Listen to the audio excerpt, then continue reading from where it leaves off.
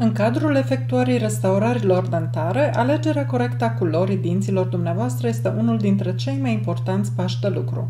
Dintele nu este doar dinte. Chiar și în gura dumneavoastră dinții sunt colorați în mod diferit.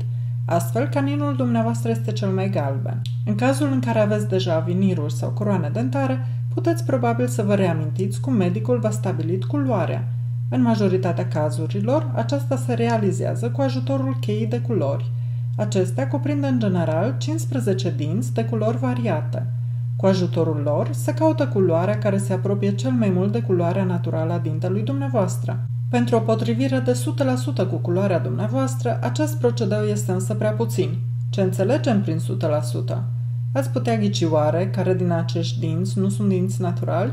Probabil că nu toată fațada este alcătuită din coroane și viniruri, precum vedeți. Pentru a ajunge la asemenea rezultate de calitate, Tehnicianul specializat în ceramică este obligat să efectueze el însuși depistarea culorii pentru a putea realiza, strat cu strat, restaurarea perfectă. Unde? Cel mai bine acolo unde va fi efectuată coroana. A reproduce o culoare cu toate detaliile ei fără a fi văzut mai întâi originalul este imposibil.